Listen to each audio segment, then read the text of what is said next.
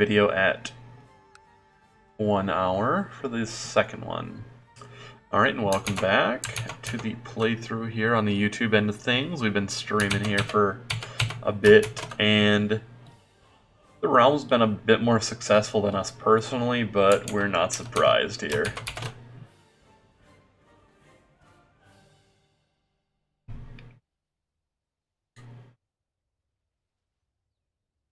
Oh, yeah.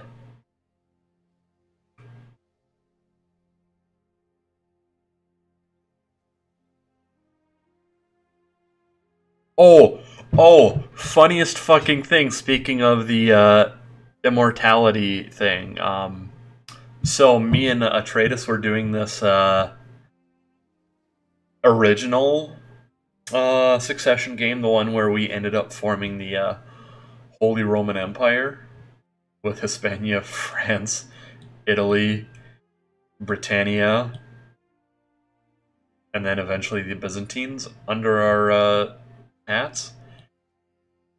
So, of course, the rule because it's a succession game is you can't take you can't become an or you can't have an immortal ruler. So that way you pass it over to whoever's next. So, I get a chain of events for immortality because immortality is really rare to get, anyways. But if you succeed at getting through events and not dying and not becoming immortal, you can get some good benefits. Yeah, no. I the first and only time I ever succeeded in getting immortality was the time that I wasn't even fucking supposed to. It's kind of great.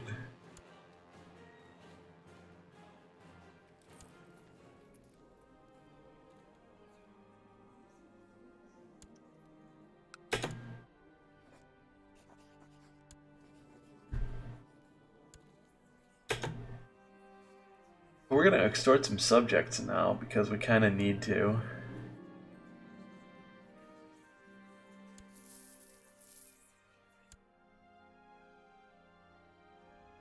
Because we can't go to war without it, honestly. Oof. Yeah, we need to... Oh, there we go. That artisan workshop is putting in work for us. I like it. Carve out this dude's eyes. There we go.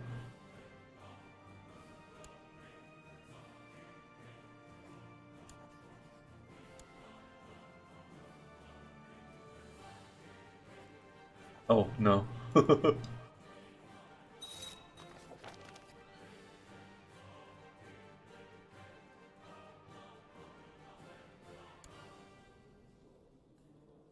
of the Abbasid house. Okay, yeah.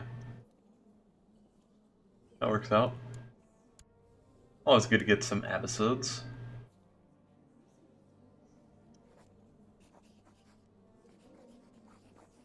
I know it's just in law. That's right, because we have another marriage set up with the Arabians already.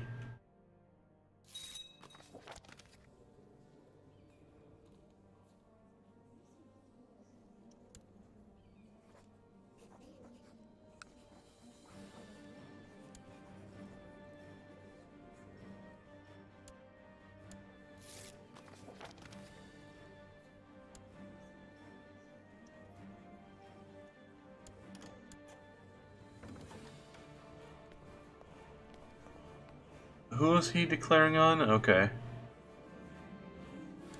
Fuck it, whatever. We'll go ahead and join this war. We haven't been actively participating in many of Africa's wars, so I'm not too worried. I do want to go to war with Marrakech the second we have the gold too, though.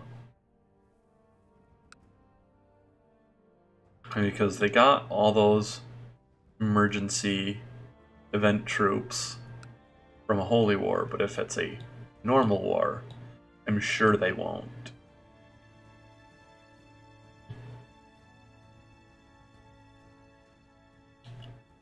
Alrighty, so...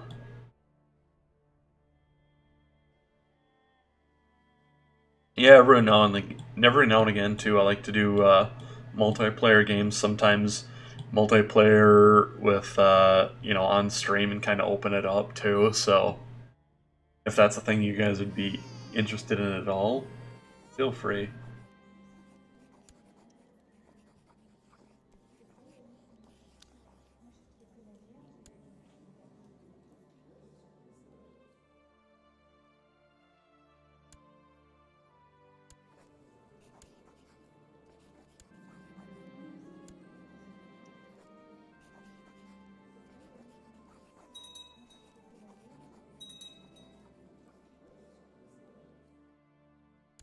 Is bringing shame too now? Come on, buddies. Can't be destroying the house like this.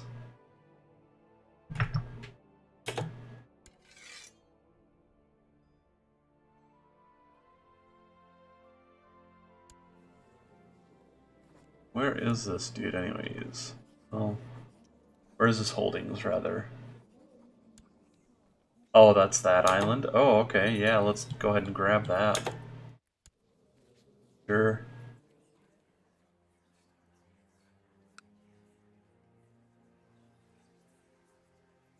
Look at that gold. Yeah, no, that gold is not better off spent bribing someone. That gold is better off uh, being used to fight uh, this dude down here.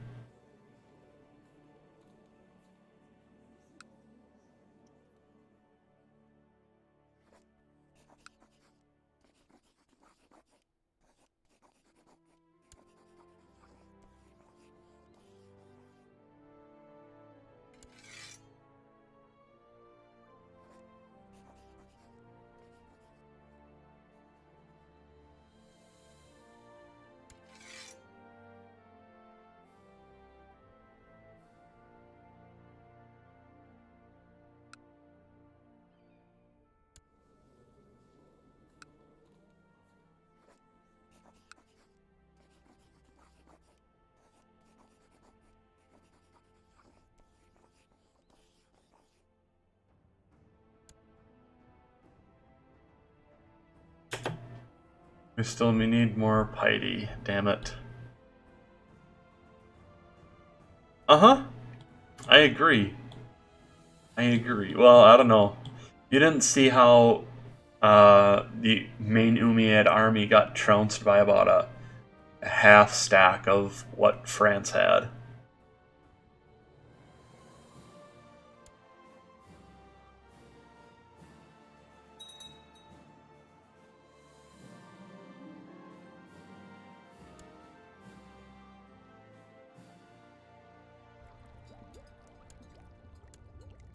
Someone trying to bring the Shia dynasty back? Oh man. Oh yeah. I take it, uh, when you played as Asturias, did you play as them right after the tutorial?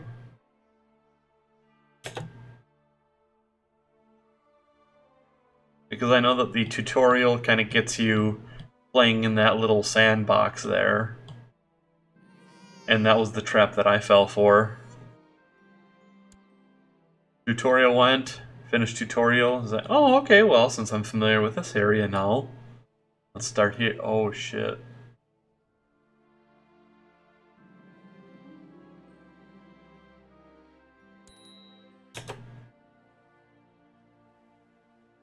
Idle council members? Yeah, we need to study tech. And we need to study tech bad, so we're going over to Thrake here. And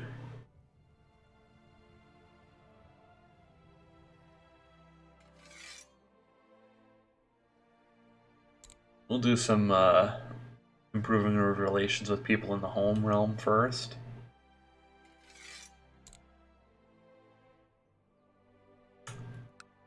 For now, yeah. In in this, in the Umayyad, I am. No, no, in uh, in Western Nation, if I can't, if I can't get a matrilineal marriage to try to sneak territory under people's noses in Western, then I will use them for alliances. as Muslims, you can't do a matrilineal marriage, so I pretty much have to use daughters for alliances. But when doing Western, I do like to try to see who I can use to uh, get away with stuff. Like um, in the current Succession game in Ireland that me and uh, Atraitus have going, I set up before I passed the uh, before I passed the save to him. I set up the entire kingdom of Lombardy. Their leader, who was either this guy or this guy's son in that case, to a matrilineal marriage with one of my character's daughters. So the heir has a sister who was going to have uh, children of our of our dynasty in Lombardy. Because kind of the goal was, hopefully, because that's still technically a kingdom title, as you see here, under the Empire of Italia. Our goal is, our goal is currently trying to get the Empire of Britannia in that game. So if we have the higher title, of the Empire of Britannia before they have an heir to be the king of Lombardy, then that will mean, oh, hey, the kingdom of Lombardy falls under our rule on a technicality. I also set the same thing up with uh, Burgundy as well. I married two of their uh,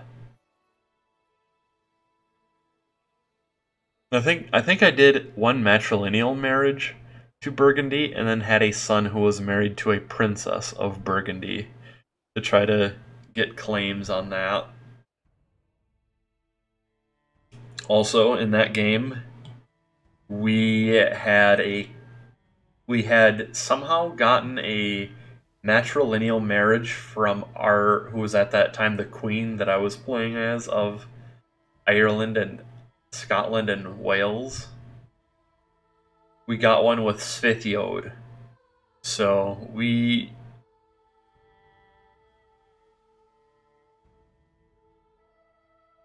Yep, yep. In uh, if you have the if you have the uh, Brit Empire, any kingdoms that you don't have in there which you probably will have most of them, but any that you don't, you will be able to uh, just press the uh, kingdom claim on, basically. Kind of like how a kingdom can press ducal claims at like the flip, uh, snap of a wrist, and snap a finger, flip of the wrist, rather, and oh, that would be because the person like if we have the empire of britannia and then the kingdom of lombardy right it, it's a very convoluted thing. It's it's because the person if we have the empire set up before the kingdom goes to a new heir if the person who is going to be the heir is of a lower ranking when they get the title than us, and they would be of our dynasty, of our house, they would be under it. So if they have, if their heir here gets, uh, say their heir gets born and the king immediately dies shortly thereafter, and we're still not the emperor we no long we don't have a higher rank than the person who has inherited this of our house. So they would not see us as a as a liege. They would see us as equal rank. And they would then be able to just say, "Oh, hey, we're our own people still." If they're of a lower rank than you, then yes. This is why if say you have three kingdoms, but yeah, I'm I'm honestly using Ireland as a uh, almost a crutch here because it's what I'm so used to. Having uh, Kingdom of Ireland, Kingdom of Pictland, Kingdom of Wales say we have someone who is really mad at us and wants a kingdom title. If we're not an empire over here and we give the Kingdom of Wales over to someone, he then leaves our realm because he's a king and is of equal rank to us and does not see any reason to uh, be associated with us. That's one of the unfortunate things.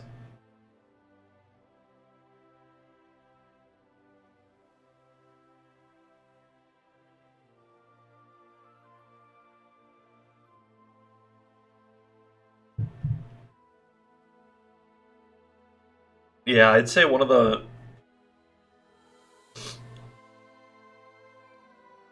I would say that that is absolutely a, a, good idea because it's a lot easier to control everything. So, whereas you can see here, I got a bunch of messages to see if any vassals are do doing some crazy shit or anything of that nature.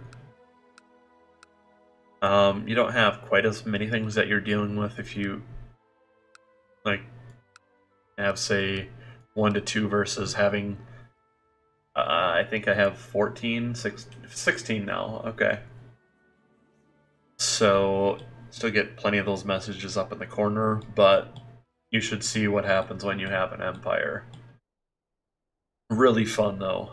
Really fun, really enjoyable. But what I would say here, a how do you see what benefit the people have when they make a plot?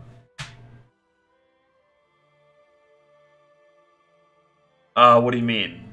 In, in what aspect? What benefit? Like, are you talking about when you have a plot and you want to invite, or oh?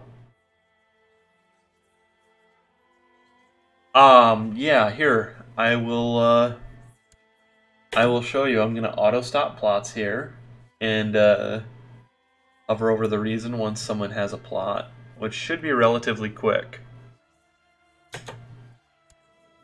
Let's see here. Actually, I bet you I can go here and find some random vassal that has a plot. I bet.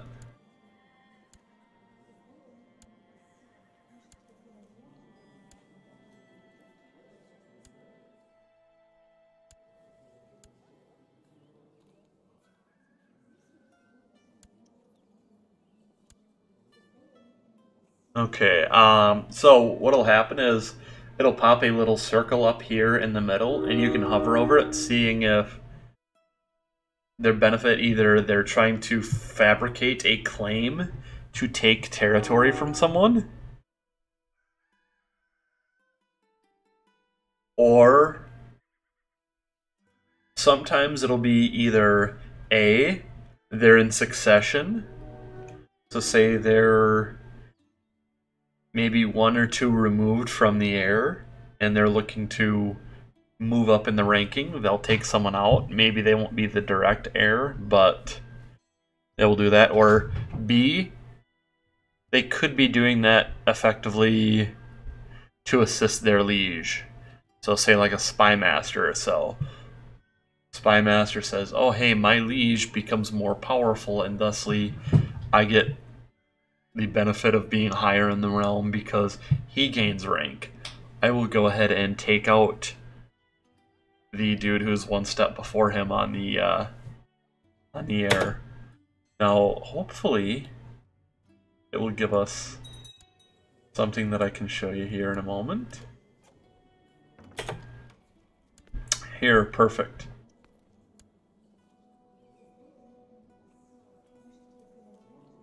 Okay,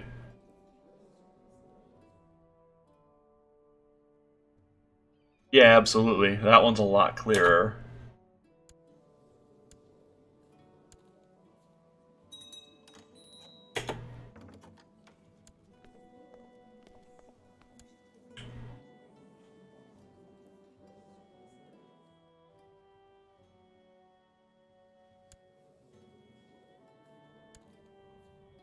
We need to get a Grand Vizier, okay.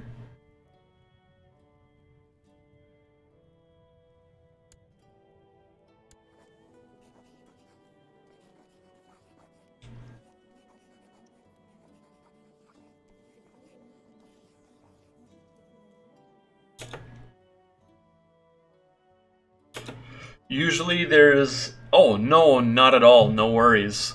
It's actually really fun to kind of talk and discuss um, different things, especially to um, to learn about that stuff. Here, let me go ahead and uh, I want to pass you another link to really quick the uh, person who is who I'm doing the Succession game with. He has a lot of information as well that can help out.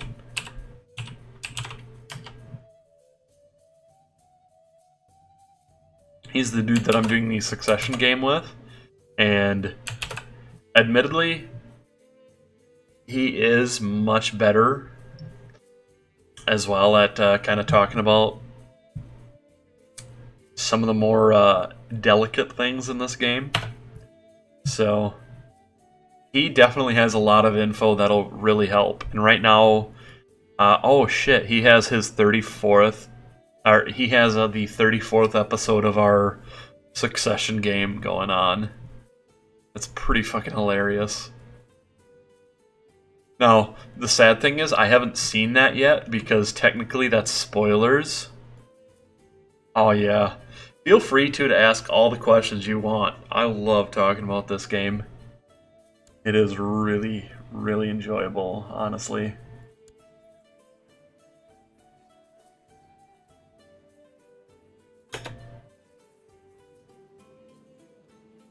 Do I not have a court physician? I don't.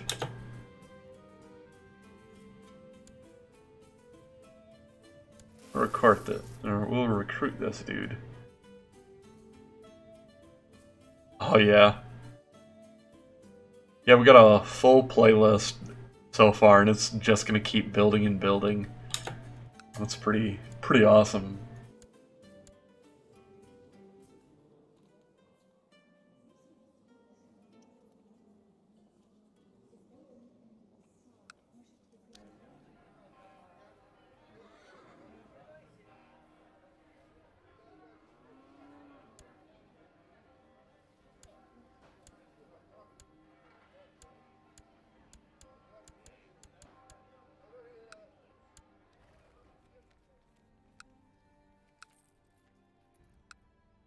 Oh shit, I forgot I no longer hold that holding.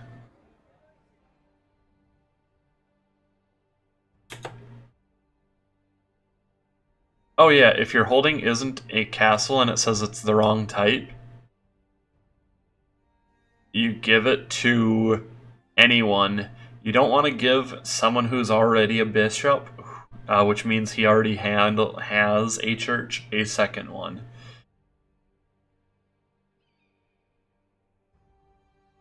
Ah, okay. Yeah, one of the big things is you don't ever want to give a person more than one title unless you absolutely have to, just to keep everything consolidated. Like, these guys, I kind of took the realm from them, but if I if I uh, actually personally held the stuff, I would be divvying it out to separate people too. Um, ah. Yeah, if a a duchy all or a duchy always has to go to the count or of someone or of someone in that ducal area. Yeah, no, be as cutthroat as you can. Be as cutthroat in this game as you can. If you are uh, having a uh, ducal claim, uh, or wow, ducal claim. Sorry about that. Uh, if you have a duchy being assigned out to someone, as long as he only holds one count title, that is ideal. You want to have a bunch of separate counts so that way they can squabble amongst each other. And always enforce Gavelkind on your realms below you while, while you can to try to ensure that they get a Ming explosion. Ming explosion referencing Europa 4. That's kind of one of my other big things. Let's see here.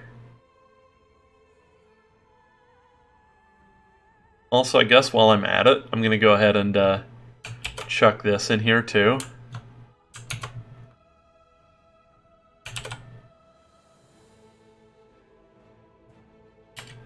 You can't, no.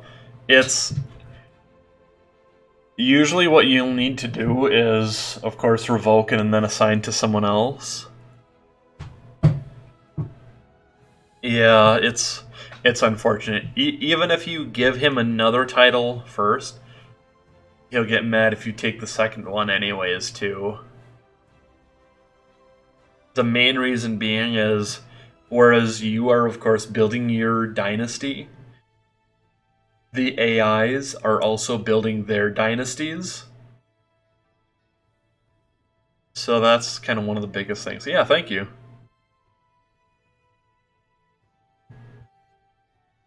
Thank you very much.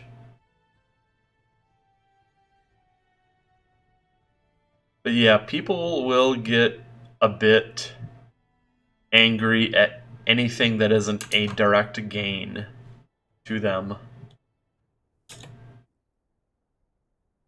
So one of the things you can always do too is you can say fuck it and revoke a title from someone. And if you don't have anyone at all that you can give to that'll be really loyal. You can always use either gold and prestige, piety, or just straight up gold to create a commander, holy man or noble out of thin air, and then hand them a title. Sometimes what I do is I create them out of thin air, I gift them gold, and then give them the title, that'll really make them uh, fairly loyal for quite some time.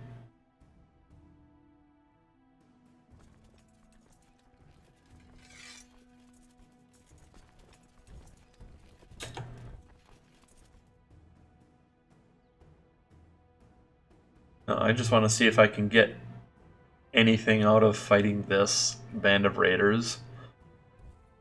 Normally I wouldn't have done this, but Eh. I don't care about the person who holds land because I'm not the direct heir.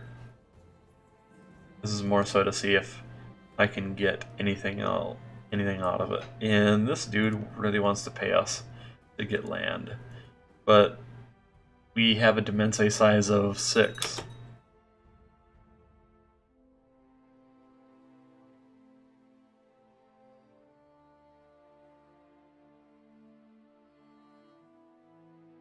If you can ever get them to um, revolt without starting a faction, that is usually a great way.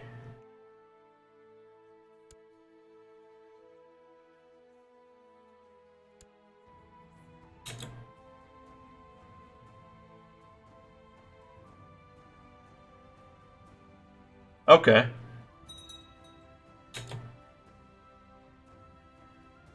You know, that honestly makes sense. Thank you. That makes a lot of sense, actually.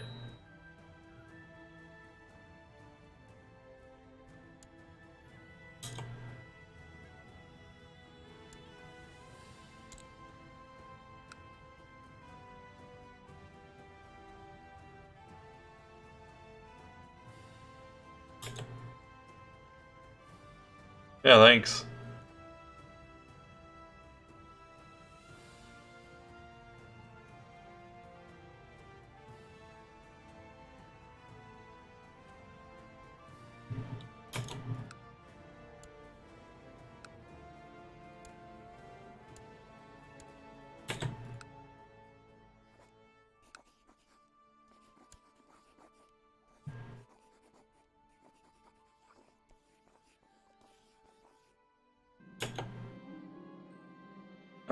Alrighty.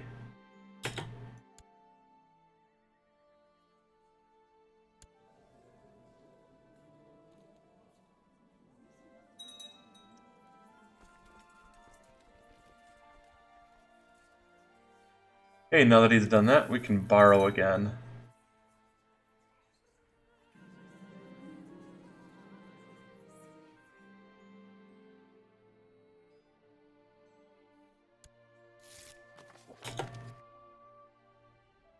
Oh yeah, absolutely.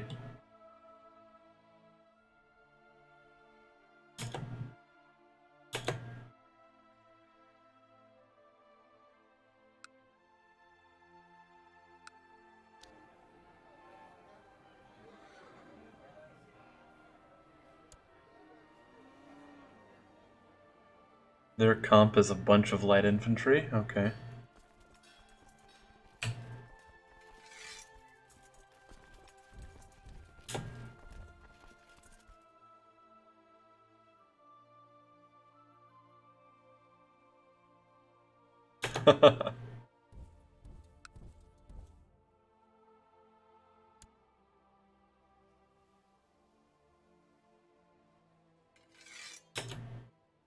So, just in case they try to flee, I'm going to raise that levy right there. Just to stop them in place. And send over to crush them.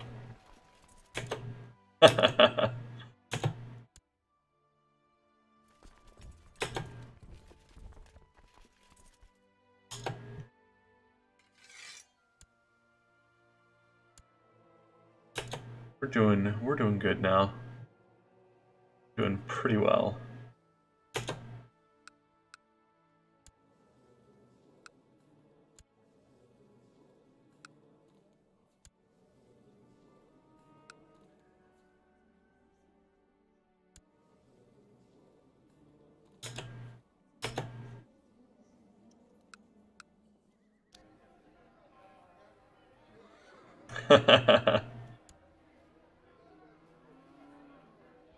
I like it. I like it.